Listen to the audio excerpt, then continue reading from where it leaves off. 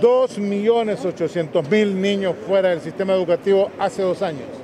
Y la situación más difícil está en los niños de 4 a 6, los de prebásica. Eso no se recuperan. 2020, 2022 no es retroactivo para aprender leer y escribir. Esos niños de prebásica, ¿cómo los recupero? Ya perdieron la oportunidad. Y es casualmente en esa primera edad donde existe la posibilidad de crecer más. Por eso es que abrir la escuela es lo esencial.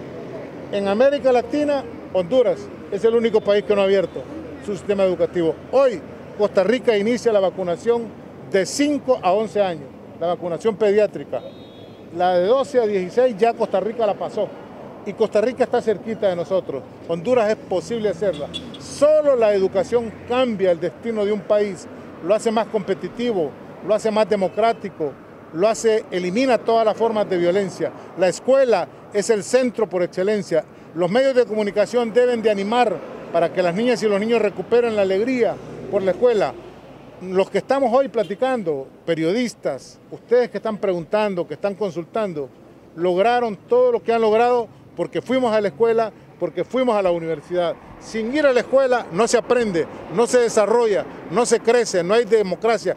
Crecen las desigualdades y crecen las inequidades. La escuela pública debe ser abierta. Nuestros niños y niños pobres deben tener iguales condiciones que los niños ricos.